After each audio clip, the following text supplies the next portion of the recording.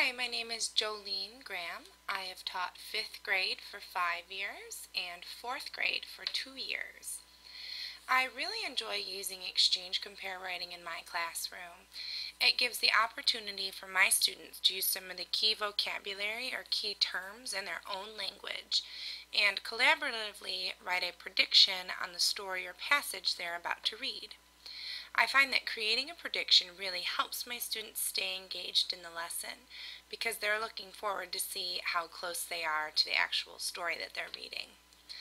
Collaboratively writing reinforces the student's ability to provide reasons for their thinking, as well as listening and cooperation skills. On the screen, you can see an example I put together that represents what my students have done in a previous lesson, using the book So Far from the Sea by Eve Bunting. To begin my lesson, I just I read through the book and picked out some key terms or vocabulary words that I think are important to the understanding of the whole book. Um, here you can see I wrote a passage um, a, I predicted a passage based on what the words were that I that I chose from the book. Um, this is based on what my student, what I think my students would have done. And after we read the book together as a class, my students will go back using those same words and write a summary of what we have read. And they'll do that collaboratively as well. Um, this strategy is wonderful because it doesn't just limit itself to literacy. It's a great strategy to integrate reading and writing into subjects like math, science, and social studies. Students are able to continue practicing and reinforcing their reading and writing skills as they learn to review content from these subjects. The collaboration also really helps with um, peer tutoring pairing students together, some high and low students, it really helps them want to improve on their reading and their writing skills. Some extensions, some digital extensions that you can use with this strategy include um, Google Docs or TitanPad. And here's an example of Google Docs.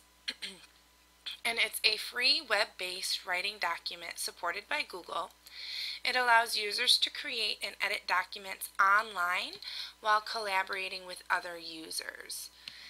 In order to use Google Docs, students have to have an account as well as a computer or another device to um, write or record their thinking. It's really user-friendly and it allows for the teacher to see all of the edits and work done by each student. So that really allows every student to participate in the activity and it really helps you see what each student exactly did to participate with the activity.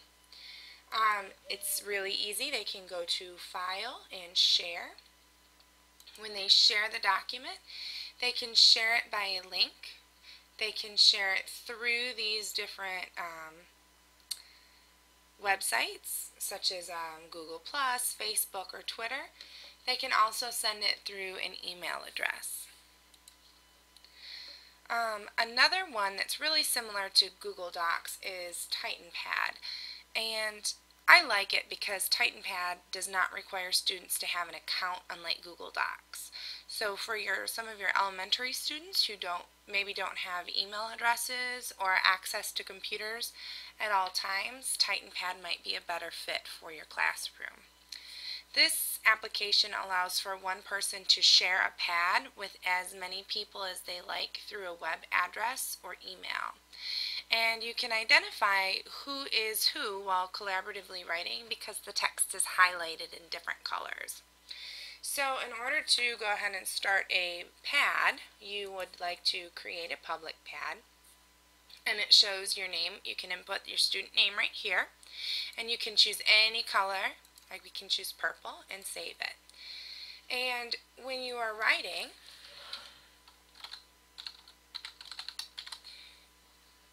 it will highlight what you've written in the color that you've chosen.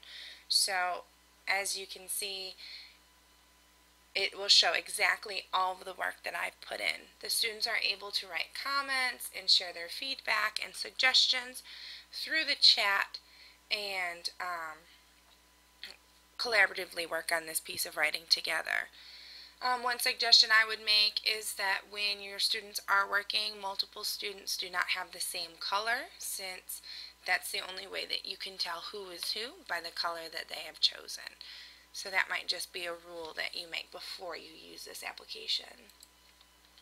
So I hope you and your class really um, enjoy using Exchange Compare Writing as much as my students and I do in the classroom. Thank you.